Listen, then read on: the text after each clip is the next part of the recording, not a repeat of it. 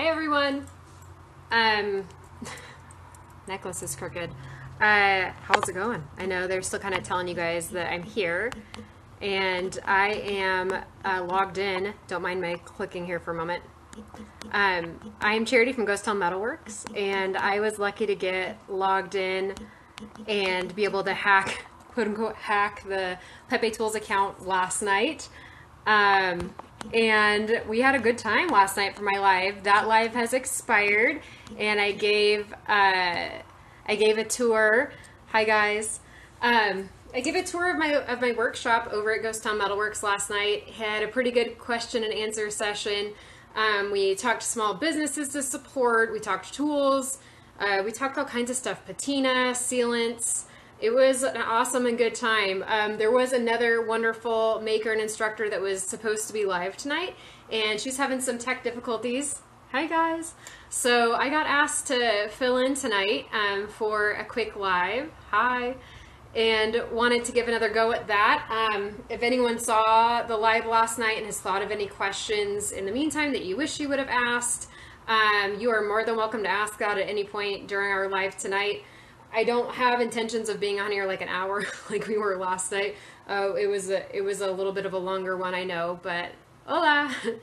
um, but it's good to see you guys here. Uh, it's great to see faces, you know, names popping in here, accounts popping in here, and just joining each other and being together uh, during these times. So, hi again. I'm Charity and I uh, run the page over at Ghost Town Metalworks. Um, I also have another side side gig that I'm getting going called Heavy on the Metal. We're gonna be working on my own uh, clothing line for metal workers um, that's conscious and made in the U.S. where I live.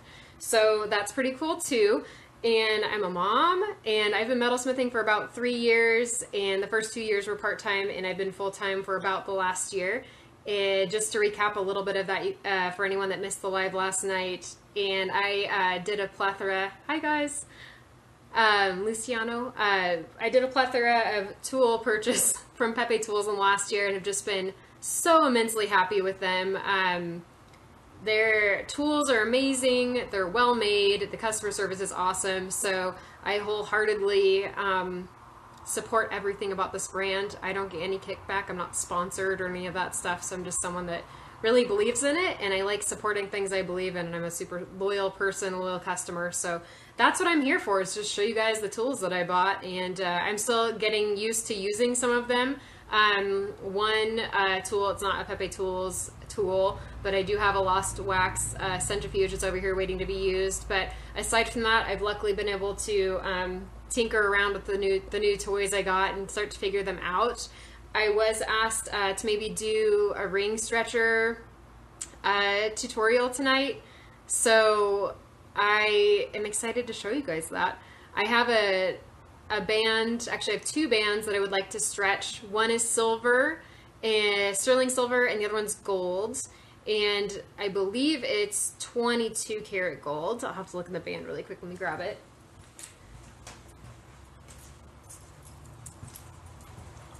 So I really want I bought I bought this ring as scrap actually and you know totally could hack it up and use it melt it down use it to make an ingot right?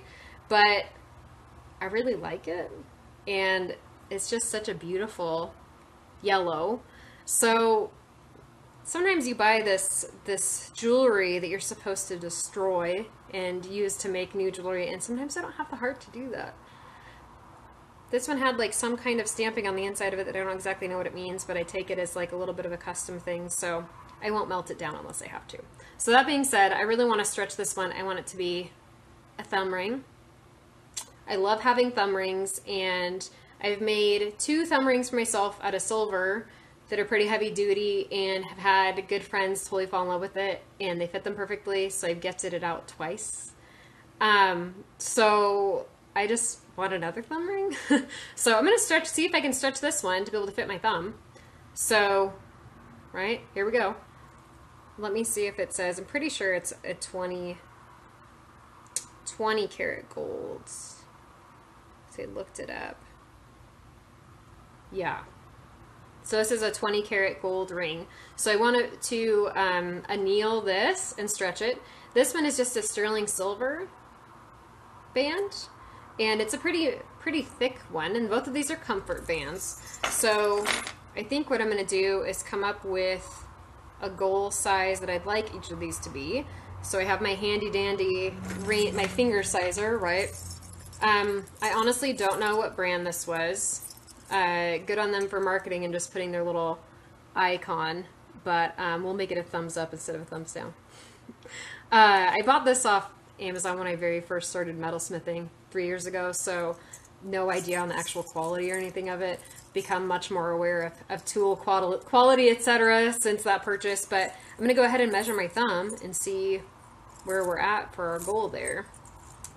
And thumb rings generally run a little bit bigger, you know. Thinking my thumb is probably about a, a seven or a six and a half. Yeah, six and a half is a little tight over my knuckle. I can get it on, but, you know, and it's not so bad once it's on. So maybe we'll shoot, we'll shoot for a six and a half to seven. And then this other one, I want it to be a pinky ring. And I haven't had a chance to reduce it yet. I may just end up making it into um, a stacker ring of some sort. I'm not sure yet what to do with this, but these are the ones we'll be using tonight. So we're going to head over to um, my soldering station and I'm going to anneal both of these and get started that way. I have stretched um, plain wedding bands before that were ones that I had made uh, that were sterling silver and I didn't anneal it first but I did not overly work hard in that ring. I knew I hadn't because I knew that there was a chance the sizing might need to be adjusted. It was a surprise ring um, for uh, a loved one. Um, so I didn't want to work hard in it too much because I knew there's potential I might need to do some sizing adjustment on it. So one of the other wedding bands um, that I did was a sterling silver one. I stretched it and actually stretched it a whole size no problems at all. I didn't anneal it first because, I, like I said, I had made it, so I knew I hadn't overly work hardened it or anything. These, I have no idea. They came, like I said, in some scrap jewelry that was intended for melting down. So I uh, am going to go ahead and anneal these just to be on the safe side. Um, I don't have as great of a camera setup over there at my soldering station. So I'm trying to decide if I bring you guys over there with me and you can watch. I might be able to do that. Let's drag you over there so you can see, okay? Let's see if I can make this happen. Move my counterweight there and unplug my light.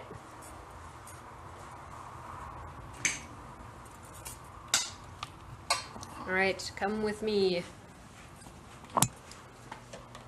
We'll see keep the can keep the phone far away enough from the soldering station where I don't end up melting it, right? Would not be the best situation. So you can kind of see my soldering down there. Let's turn on a light. Some extra light in the area. So I normally have um, a lot more of these insulating bricks over here at my soldering station, but I had moved those over um, if you watched my live last night, you saw where I moved them. I moved them so that I could use my mm-hmm. crucible and melt a whole bunch of silver down and make ingots. So I actually transferred this area so I had more room to work in to a table over there, and I moved a whole bunch of these insulated bricks. So usually I have a little bit more of like a fortress built over here, and um, I love you. Thanks, I love you too. Um, I usually have more of a fortress built up here, and I don't. It's looking kind of sad right now. But this is a trick that I learned um, for annealing metal, and I'm gonna keep hunkering down here, being kind of weird and awkward, uh, is to get a Sharpie. So let me get a Sharpie out.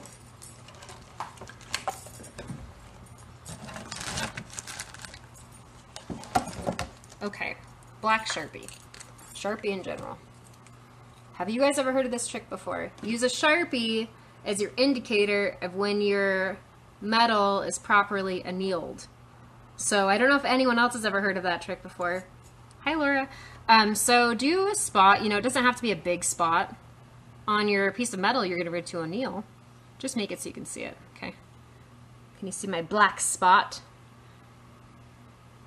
Okay, So we're gonna do one on the gold, and we're gonna do one on the silver. Okay, same thing. Um, you probably won't be able to see the color change from the camera, but I will I will show you afterward that it's gone. So I have an acetylene air torch. I'm not sure what everyone else's setups are at home. Um, you know, these these rings are not like super substantial, so I'm not going to switch out to like a massively big tip. Um, hi there, hi everyone. So I'm going to say this one's sufficient. Well, this is a size 1 tip. This should be okay, I think, for annealing. If I really wanted to step it up a game, I do it to a number 2, um, which I use sometimes, but I don't want to melt it either. Um, I am a safety nerd, to say the least. So this comes from me being a licensed veterinary technician. So I have uh, like 14 years in the veterinary, so that's animal medical field, and we take safety pretty seriously. So that kind of spills over into my realm for metalsmithing. Um, I always put on all my protective gear. I actually solder with protective glasses on. I know you guys are to look at me and think I'm so nerdy, but look at me with my retinas that aren't burned. So these are glasses I bought off Amazon. Um, I will um, happily give out the information for these uh, when you know if anyone wants it. But the brand is Magio, M-A-G-I-O, and these are actually graded to be able to help uh, reduce a lot of that light spectrum that comes out of a torch. These by no means replace using darkened um, glasses that have even higher rating that are meant for using like a really large torch, like especially if you're like melting in a large amount of metal and doing the whole like crucible thing or the casting thing, you should definitely have some more heavy duty glasses and those would look more like these. Okay. These are super intense. This is what I use when I'm melting down all my scrap. They're pretty sweet retro, huh? You have those same ones? Yeah, they're awesome. I love these. I totally will be a weirdo and wear these out on the beach in the summertime. Look, sand won't even blow on the side. These great side protection. This is a little bit overkill for just soldering, and it can be hard to keep track of what you're actually doing if you're wearing something this dark. Now, if you're just melting down metal, very important. So these do have um, some spectrum protection, and you're protecting your eyes in case something crazy happens. Sometimes um, solder can sputter, uh, you know, with the flux and everything on there. You just, you never know. Uh, if you're melting down little rounds on here, sometimes if they have a little bit of moisture in the round or something odd, sometimes those little rounds, the metal rounds, can actually explode. So it's good to be covered up. I like to have my face covered up. I cover up my eyes. I actually do wear a mask. I know these are a little bit hard to come by right now, and I totally respect that. If you're soldering without a mask, um, I hope to God you have a really good fume extractor immediately over your soldering station. Um, metal smithing is extremely toxic uh, if you're not doing that. So sorry, this is turning into like an OSHA PSA, but this is the mask that I wear. Right now, you can't really get these easily in the states that I know of. You can get the filter refills fine, but the brand is 3M, and these are the P100 um, NIOSH rating. Um, this is uh, pretty good for particulates and stuff.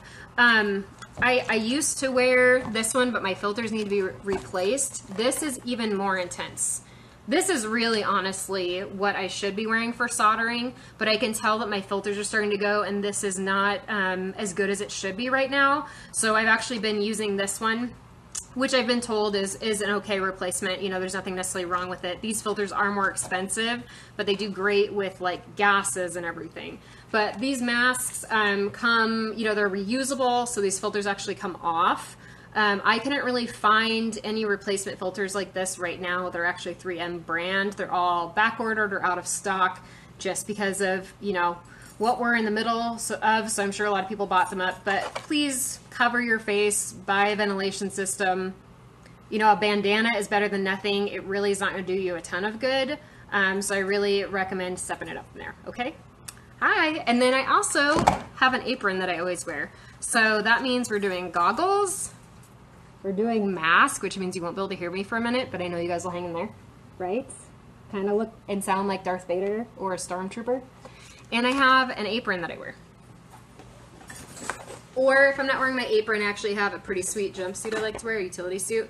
So be safe. Sometimes molten things come shooting off the table at you and, um, you know, can land on your shoes.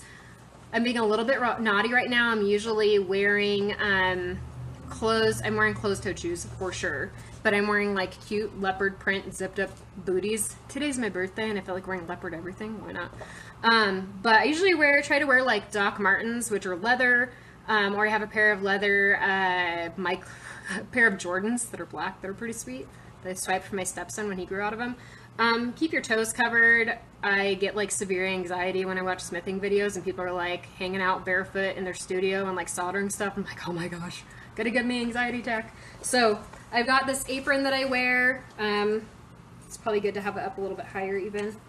So try to have yourself covered up. And what I'm gonna do is I'm gonna light my torch. Okay, I'm gonna go through and uh, anneal both of these rings. Thanks for the happy birthday. Um, for anyone that's just jumping on, we're annealing a 22, I think I said, 22 carat ring, and we're annealing a sterling silver ring. Um, hi from Ecuador and the Vulcans. Awesome. I've been down to Costa Rica and the Honduras and Guatemala, so around those regions. Um, and I'm going to go ahead and we're going to anneal these because we're going to get ready to stretch them. So uh, we already marked these with black Sharpie. That's a tip for anyone that might have missed that, hopping in here late. Do a little mark of black Sharpie on your metal, and that'll be your temperature indicator once you've reached the good temperature. Um, I did, I'm just learning gold, so I'm still very new to working in gold. Um, I have not annealed a gold ring yet, so this is an experiment for me, and I know it's very ballsy for me to be doing this on a live video, but look at me not care, because this is all a learning experience, and if it doesn't work for some reason, you guys get to learn from my mistake, right? That's what this is all about. Have annealed lots of sterling silver, no problem there. So we are marking with uh, Sharpie. I'm going to heat it to the temperature till the Sharpie disappears. Thanks for the birthday wishes. And um, then we're going to quench, and then we're gonna head over to my ring stretcher, and get these marked up to a size that we want them to be. So hang in there. I'm going to put on my Darth Vader mask, so I won't be able to talk to you guys for a minute. So just watch and appreciate.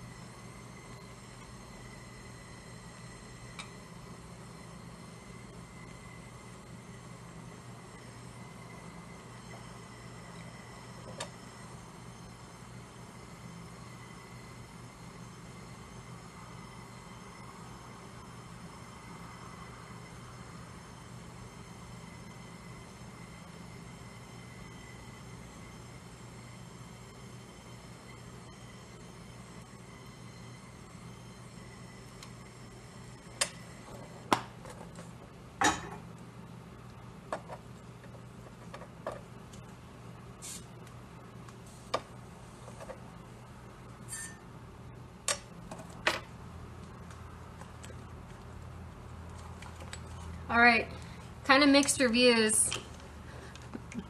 These actually have the shade 2 green glasses. These are actually rated MSZ87 plus. So they do take care of these uh, awesome soldering needs from what I researched. Um, so I went ahead and used um, the Sharpie as an indicator.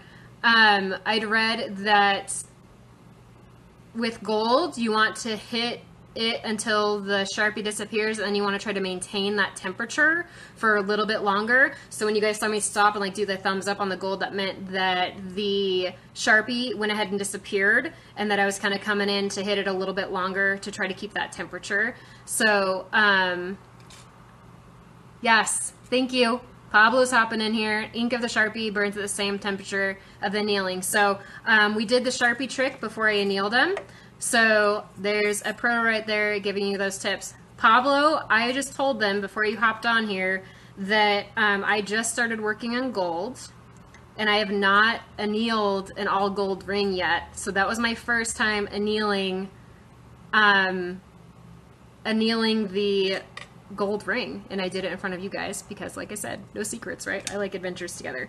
So I did go ahead and quench these. I read some conflicting reviews about letting stuff air cool um, versus quenching it, but I did go ahead and quench it this round just I guess for for sake of, of speed for the live video. If anyone has any preferences about what they think is better, air cooling um, or whatnot, I am more than open to that. Um, I know that if you quench too quickly, like take immediately from here and put in there, that I know that you can shock the metal and it will potentially cause your metal to become brittle and it might break when you work on it later. So I definitely don't recommend going from here to there. So if you noticed, I did go from here to here, which this is tile left over from us uh, tiling our bathroom and our uh, kitchen in our house. We had like two or three slabs left over and it wasn't enough to do anything with. So I actually have tile um, as part of my soldering setup so it protects the wood on my bench from getting seared or anything. So this looks like barn wood, but it's actually ceramic. So I set the stuff here for a second before putting it in there. And um, thanks for the good job. And I uh, was able to quench it and you still heard it. It was still hot, even though it sat for a minute. So I believe I gave it enough time in between. So we're gonna head over to, um, I'm gonna get a paper towel. Actually, I have a, a, handkerchief here. This works too for wiping off. And you know, I didn't do any um, fire uh, scale prevention on these because it was hitting it pretty quick. Um, you know, these are pretty small pieces and we reached that annealing temperature pretty quickly. I would think if you had a pretty dense piece, it might be smart to do some fire scale prevention, doing like the boric acid with denatured alcohol thing and then letting it dry. I have seen some people set it on fire to make it dry more quickly, but from what I've researched, it's a little bit in haste. It, I guess it does a better job usually if you let it air dry, but I don't know. So we'll see. Um, the silver looks great. There's no redness on it at all. So as far as having any fire scale on it, it looks great. It's nice and bright white. Um, and usually when I anneal silver, it ends up being a little bit more of a darker gray. This is stamped a 925, so I guess guess we'll see almost makes me wonder if it's more like a fine silver than a 925 and it got misstamped. So I'm to um, take you guys over to the ring bender now and I will say that my natural daylight is showing through my garage door there so hopefully the light's not too interfering but we'll we'll look at it and see how it does. You guys just be sure to let me know if there's a a problem with you being able to see.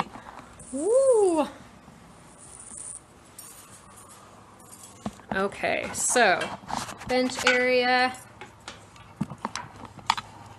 All right. See, I have this beautiful natural light, but I think if I tip this down a little bit, you guys will be able to see her a little bit. Um, what I'll do is I'll, I'll give you guys a close-up look uh, at the ring bender, and then I'll move you back over here so you can kind of watch from a distance. And I already measured my finger for the one that I wanted the gold to be able to hang out in. Um, I really want to replace my thumb ring that I keep giving away. Keep making thumb rings and giving them away because I love people.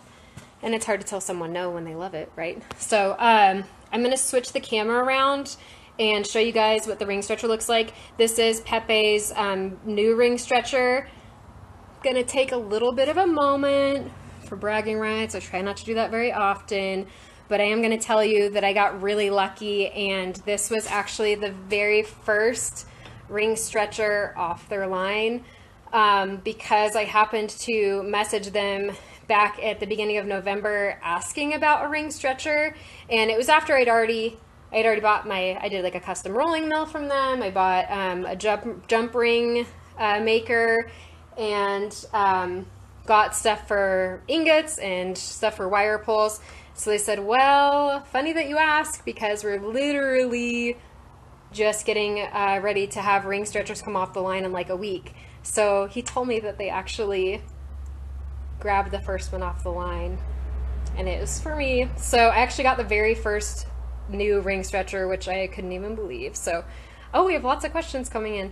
Um, I'm going to show you guys the ring stretcher really quick and flip the camera around, and I will um, show you guys what it looks like, and then I can answer some of those questions for you, okay? All right, so this is their new ring stretcher. Um, you can see all the sizes marked on there, and it goes all the way, so US sizes, okay. So size 1, and it goes all the way down to a 15. Hi there. Um, this is the reducing portion. Um, this is metal. I'm not sure. I have seen some of the newer ones that are that are coming out and like they have like a plastic part here. So I'm not sure what the difference is to have plastic it looks like plastic to me, versus metal. This disc thing weighs a 10 though. But you can see how this reducing function works. I haven't had a need for reducing rings yet. Um, I honestly don't make um, I guess I, I don't, I'm not to totally into repairs right now because I'm mostly self-taught. So I try to be, I try to refer people to people that have properly gone to jewelry school or at least taken courses on repairs. Um, if I know the people really well, I'm willing to do it as long as they understand the risk associated. But how this works is you would find the appropriate size you want and then the handle works in reverse and you're actually smashing the ring down in the right to reduce the size of it. So the inside of the hole here actually does taper some, and I know this comes out and flips over. So um, I think that gives us different depth or different sizes, but this is what the whole disc looks like, and it is a pretty substantial weight. How uh, the ring stretcher works is it has these different slats, so you can see these lines coming down here. Okay, this is this allows, and it goes all the way around. This allows the ring stretcher to be able to do a parallel wall stretching. So when you put a ring on here, and you're actually pushing it back, you can see those lines get a little bit bigger and then they get closer, and they get bigger and they get closer, they close up. This allows for more like a parallel stretching of the inside of your ring, which means you should not have to put the ring on, stretch it, take the ring off, flip it over, put it back on and stretch it again because most traditional ring stretchers, you do have to do that because of this tapered mandrel. Well, Pepe Tools is super intelligent and they figured out a tech way to be able to give your give a perfect parallel stretch the first time. You don't have to take your ring off and flip it back around, which I think is pretty freaking fabulous and great, right? So you can put um, your rings on there and see kind of what size it is. Um, something else I kind of use this for too is just reshaping rings, but I do have to give you, um, have a good dinner. They're going to go eat. Um, I am going to uh, tell you if you do use this for reshaping. So you can see like, I don't know if it's hard for you to tell or not, but this ring's not totally round anymore. It's kind of squished a little bit.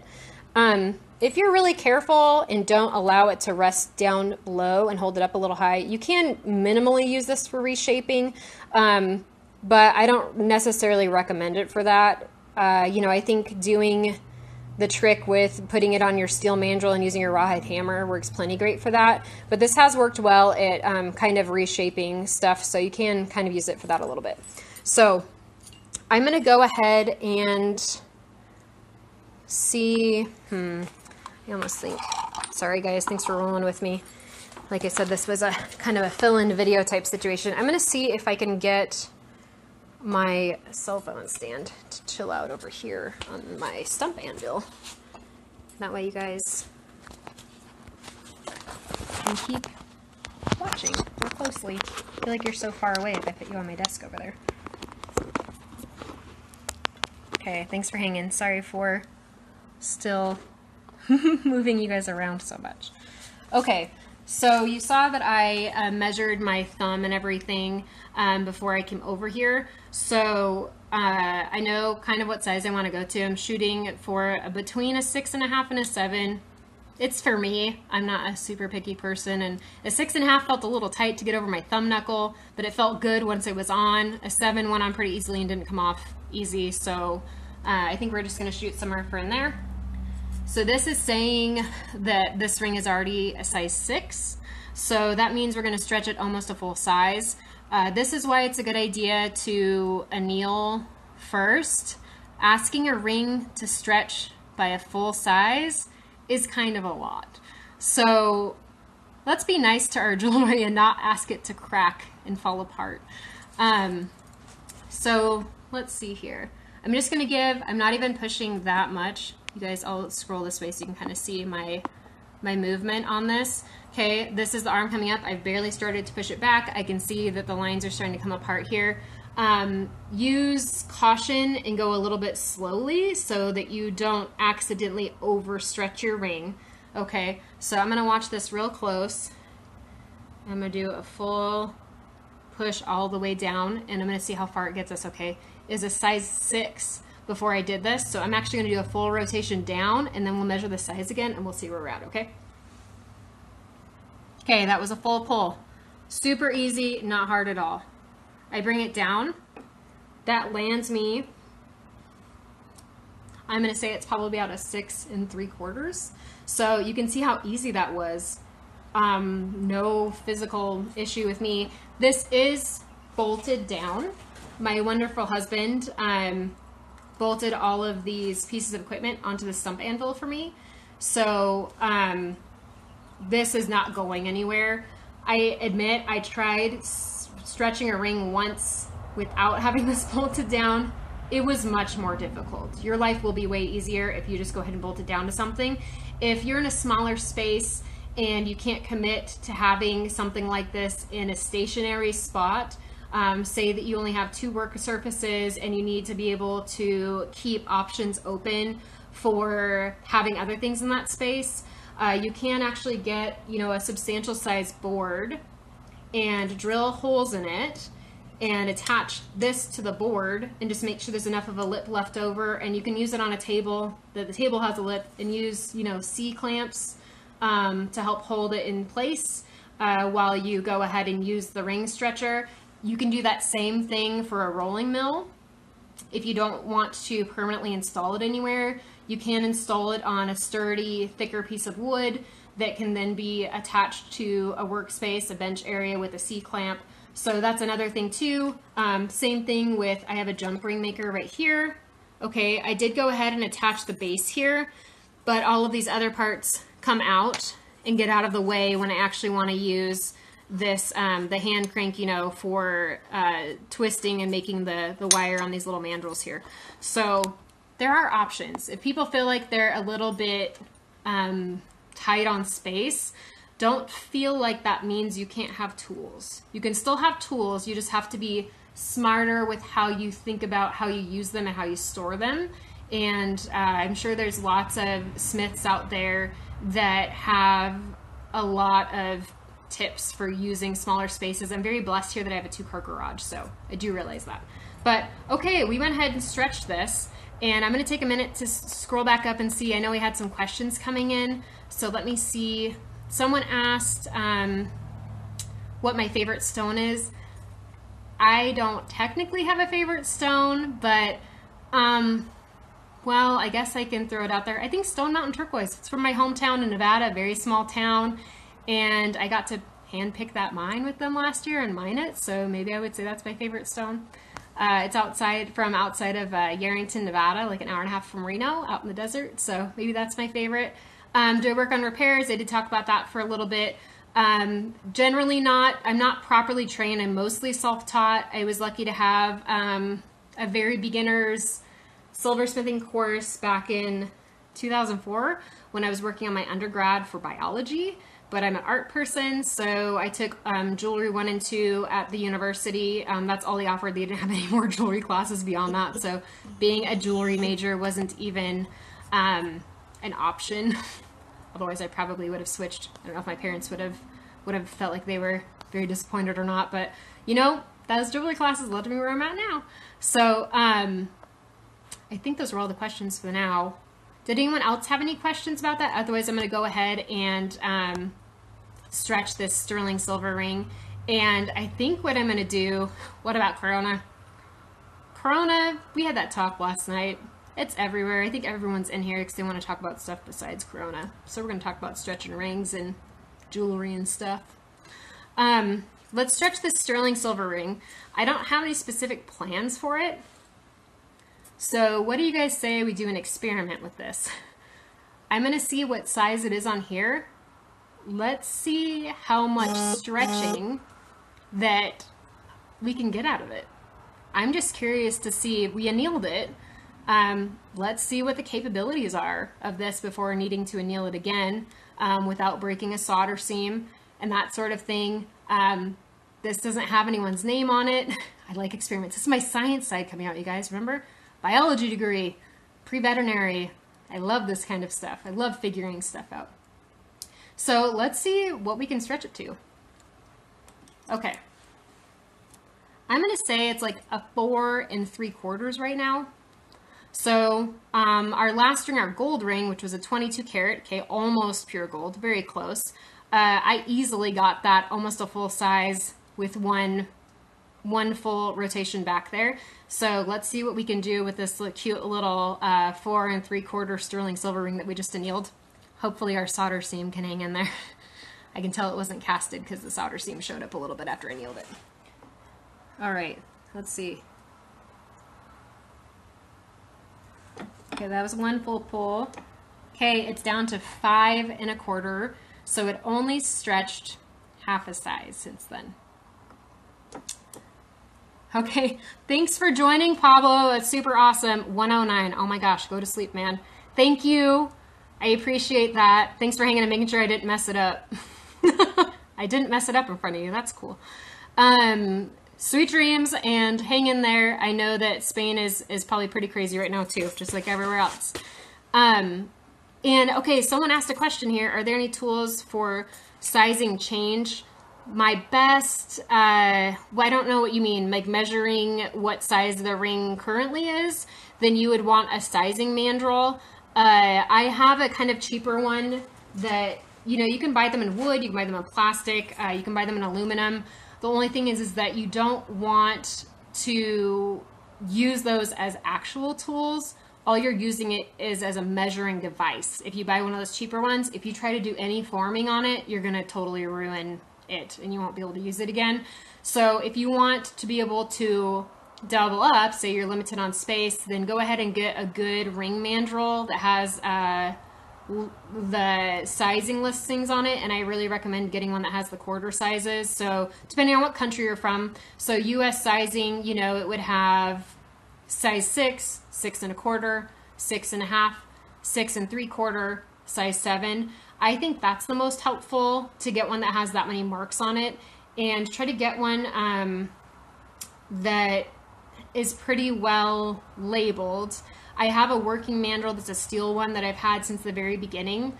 Um, when I was kind of, you know, you're penny pinching a little bit, you're trying to get your bench set up without going super broke. Um, it's not the best quality mandrel. I will be getting another one. And actually I have two mandrels. I have one that's kind of like a more like a D shape um, for the cross section instead of circle. And that works great for sizing rings that look more like this shape, okay? That don't have a fully round band and I'm happy to show you guys kind of what that mandrel looks like too. But I would use one of those to size it first. Um, and if it's if you don't need to to bump up your size that much, I mean, just use your rawhide hammer or your plastic hammer on one of your your steel mandrels to get the size you want. Um, don't forget that if it's a wide band or the band thickness itself, like the gauge of it is very thick, you do need to allot a little bit more space for it to get on someone's finger. So um, say that you had a wide band ring and the person is a size 7, you probably should actually make it so the ring is going to show up more as like a 7 and a quarter um, because you will have a little bit of a sizing difference there. Um, I would not recommend using this for rings like this for changing sizes, I wouldn't do that. Um, the reason is is that this is a circle and you're putting pressure on the inside of this, it's going to change the entire inside of this ring, not just the band. So that's a good way to accidentally warp your setting and make it concave and probably either pop your stone out of the setting or break your stone, which is not ideal. Um, I have very lightly used this uh, on um, some ones that don't have like if my my band's coming in really close and there's not a very big gap I have used it a little bit for slightly stretching and uh, maybe helping shape it a little bit and just really paying super close attention to what my setting is doing. If I'm, I'm taking it off and looking, I'm not doing full rotations. I have used it a little bit for that, but I know that it's not necessarily recommended for that. So proceed with caution if you're going to be doing anything with stones because stones are in there because they're happy already once you start to upset what's around them, they may not be happy in there anymore, and you might have diamonds popping off or all kinds of stuff. So this is really meant to be more like a plain band stretcher, but like I said, proceed with caution on other types. Um, so we've got, actually no, this is looking more like a five, five and a half, five and three quarter now that it's been settling a little bit. Let's give it another push and see how far it goes.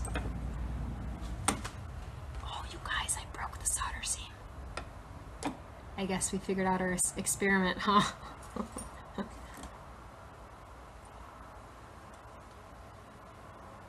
womp, womp. It's okay. It didn't belong to anyone, and we wanted to see what would happen. So, I think what we can gather from this experiment is anneal first, stretch one rotation, maybe anneal again before stretching for the next rotation. I got almost a full size out of this right off the bat, so that's cool. I can fix it. I'm not worried about it. But even more so, I can probably throw this into uh, a rolling mill. So we'll see how it goes. Um, I will show you guys since someone was asking about sizing. I know.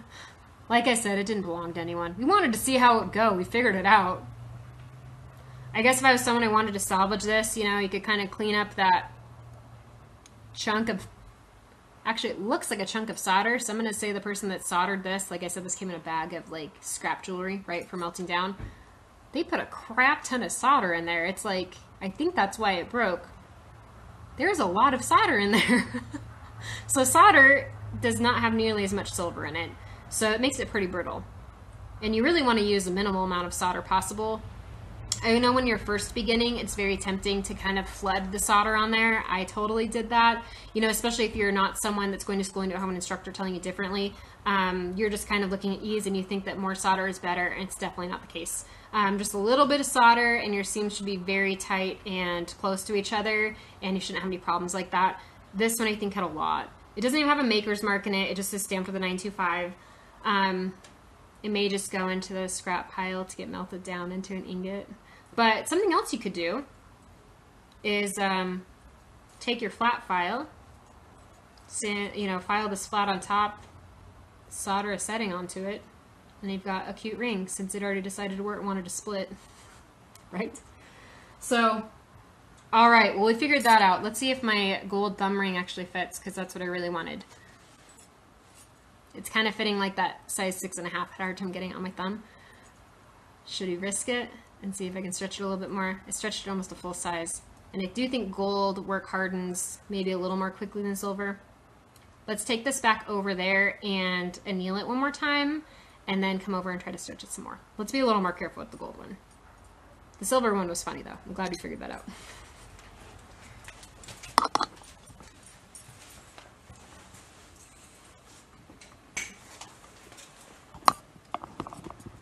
Dun, dun, dun. Do you guys feel like you're flying? You're flying. Back over here. Okay. Well, Pablo's not in here to tell me I'm doing a good job anymore. He went to bed. Bummer. Okay. So, anyone jumping in that wasn't in here the first round, sorry if I keep repeating myself, but we're going to re-anneal this. Our master secret tool it says Sharpie. I know it's backwards to you, but it's a Sharpie. Hi. Um, fine point, whatever you want to use. This is a fine point. That's what I had handy. I won't go through my whole safety nerd uh, protective gear talk again. Um, whoever's new in here can just be surprised about my transformation to looking and sounding like Darth Vader before I do this. Okay, let's put my black spot on there. Y'all see it? This is my indicator for being annealed, okay? And we are going to turn the torch back on. I'm gonna get my glasses on. The one thing about these glasses that I haven't liked, I think because I put them on over my mask so often, got this crazy situation going on. are you my, Luke, are you my father? No. Um, so, Sir Metalbeard, uh, this is the only complaint I had, and I tried to fix it last week with epoxy, and all it did was make it kind of like grody looking.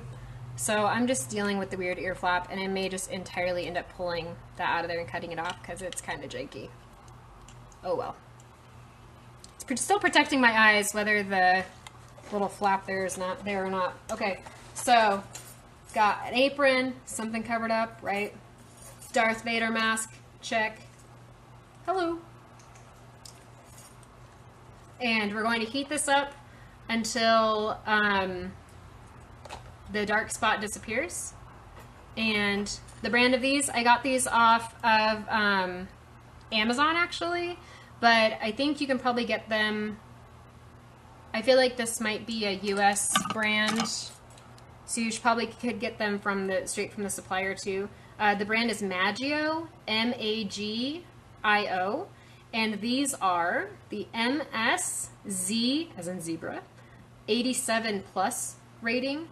Um, so these help with protect your eyes for some of the, the spectrum of the light that comes out of the torch. Like I said, these aren't rec recommended for doing large torch stuff like, um, you know, melting down metal and doing like casting stuff. You're going to do ingots. You probably should be wearing more like this intense of a glass, like glasses if you're going to be doing that, okay? Protect those eyeballs. We only got two of them. And sometimes when you ruin them like that, you ruin them at the same time. Not ideal.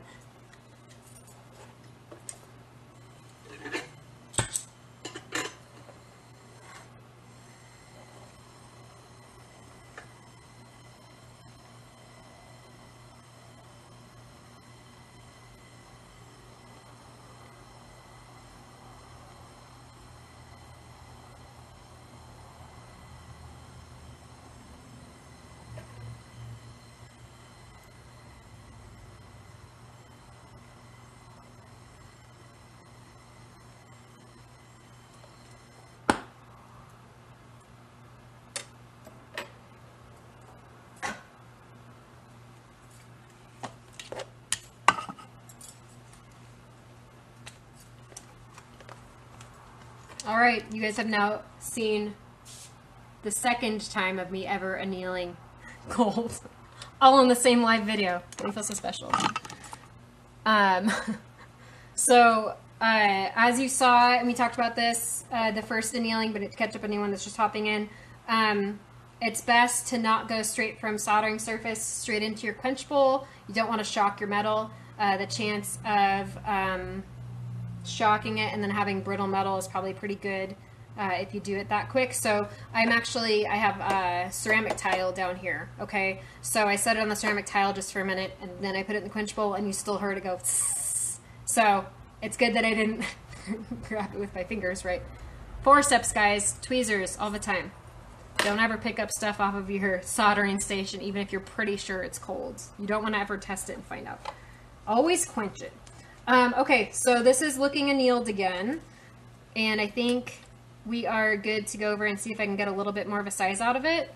Um, I'm probably just going to do like a half pull this time. Thanks. And see how far that carried us. Um, and see if it'll finally be my perfect thumb ring. That's what we're shooting for. So we'll find out. Okay, come with me again. Do you guys feel so funny? You keep flying back and forth inside my workshop. And only if you could actually see, I have like this uh, cell phone stand that's like this big with like a big like circular light on top of it. That's what I'm literally hauling back and forth in my shop. You had no idea, huh? I'm a goober. I have no problem hiding it. I mean, I have a big problem hiding it. I can't hide it. It just is what it is. Bum bum bum. To the ring stretcher we go. Okay. Thanks. Another birthday witch hop hopping in there. Okay. This is saying, okay, maybe like more like six and a quarter, that would explain. It's not fitting super snug on there though. And maybe um, that's not uncommon for after you anneal something that's been a little bit work hardened for it to relax, um, kind of changed shape a little bit. So I'm not surprised that I'm putting it back here on. My size is looking a little bit different. Um, so I'm going to do like a half pull um, for anyone just hopping in here if I do a full pull down, it's been getting us like anywhere from like three quarters to a full size stretch. Uh, if that's not what you want, don't push it back that far. And I have it bolted down. Okay, we're just gonna do like a half.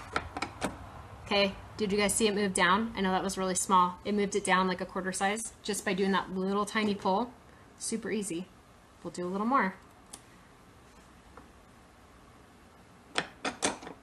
Okay, now it says we're almost to a size 7.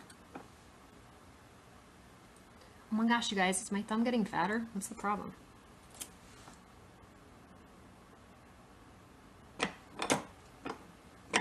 Okay, two more little tiny baby pulls. I'm not pushing it all the way back because I don't want it to be huge. Oh, are we there? Are we there? Oh my gosh, I want it to fit so bad. Maybe it needs a bigger pull. Oh, let's do it. All right. Maybe it's getting work hard and that might be part of our problem too. Oh, that stretched it a lot. Be patient. But look, you guys. Ah, golden thumb ring. So happy. Best birthday present to myself ever. and it was already in existence because it was in a bag of scrap jewelry to melt down, so I'm even more happy. Awesome, right? That makes me so happy. And you know what? It kind of has this like cool brushed finish on it. And I probably shouldn't be standing so close to this ring stretcher next to my eye, should I? Let's stand up. Um, bravo. Oh, thank you. Thank you. I'd like to thank the Academy. Um, I... I'm so happy. But I, my line of work, so if you guys uh, head over to my account, um, my handle is Ghost Town Metalworks, and I named it that way for a reason. I like the kind of like rustic stuff, maybe not super finely polished. I do kind of a darker patina. Um, one thing I'm really excited about getting into gold with is experimenting and finding out. Um, this is 22 karat gold for anyone that's wondering. Um, I'm excited to experiment with adding patina to gold. I recently just found out that iodine is supposed to oxidize gold, so this ring might be getting some more experiments happening to it. and I will happily report the results um, because I just finished a set last week. Um, thank you. Uh, I just finished a set last week that's beautiful. It's a combination of um, Midori Variscite and Colina Verde Variscite, which is from Nevada, and it's a newer Variscite claim, and that stuff is freaking nuts. If you guys go back over to my feed after we're off here, um, you'll see it. And um, I posted the pieces separately. I still have a necklace to, to post, but I actually did an 18 karat gold bezel um, just because those stones against gold looked freaking killer and um, I did the rest in, in sterling just to give a mixed metal look, allow her more versatility in wearing them, and also it helps cut down on cost. But I was so bummed out because I use liver of sulfur to oxidize my pieces, and liver of sulfur kind of has a mind of its own. Um, and a way the way that I do it is a little bit different. So some days my patina might be a little more dark, some days it's more brown, some days it looks more kind of golden. And that particular patina turned out golden. Um, and so the gold itself, the 18 karat, looked really bright and buttery and beautiful. And the sterling actually uh, like matched it, kind of funny enough, with the oxidation. But that's when I was like, man, I wish I knew how to oxidize gold. I wish I had that figured out already. So I'll need to experiment and see if the whole iodine trick works with um, adding patina to gold because I like that. I love my stuff to look old and uh, everyone has their own aesthetic for the art that they do. I found mine pretty early in and I just really know what I like And I'm from rural Nevada. I love ghost towns. So I wanted uh, the idea of my work is I want it to look tarnished. I want it to look kind of old and uh, I figured it could be something like if someone's out walking through a ghost town, which we have in the Wild West, right? And I know ghost towns here are laughable to like Europe because you guys are like hanging out in like 2,000 year old churches. That's cool. We're like, this ghost town is like 120 years old. Can you imagine? um, but if you're walking in a ghost town and kick the dirt and are like, ooh, there's something in there. What is that? Pick it up. And it's like a super tarnished piece of jewelry. Like, so rad, right? And the more you wear it, it actually polishes itself up. So, um, that's all jewelry needs. That's all it needs to not be tarnished, actually, is for you to wear it. Did you know that? It's when it sits that it tarnishes. So it's happiest when you wear it. So all of my stuff, the uh, patina and all that stuff does end up coming off in the highly worn spots because that's what happens. Tarnish comes off when you wear it. Um, my handle is Ghost Town Metal Works. Uh, with an S on the end. And I have done um, three posts on the Pepe Tools feed here in the last 24 hours, so you should be able to find me there too um, if you don't feel like searching for it. But the reason I name my business that way is because, hey, there's Chris hopping on. Um, the reason I name my business that way is because I don't, I'm not necessarily plan on always being restricted to jewelry specifically. This lady wants to be out like welding and building freaking steel gates for our house, right? I want to be that crazy person out in the yard making yard art out of old wheels. So I just didn't want to limit myself on what I was doing. I didn't want to limit it to just jewelry. I, I like a lot of different things. I am an artist. I'm a painter. I love painting. I love sketching. Um, I haven't played music for quite a while. I need to get back into that, but I don't know.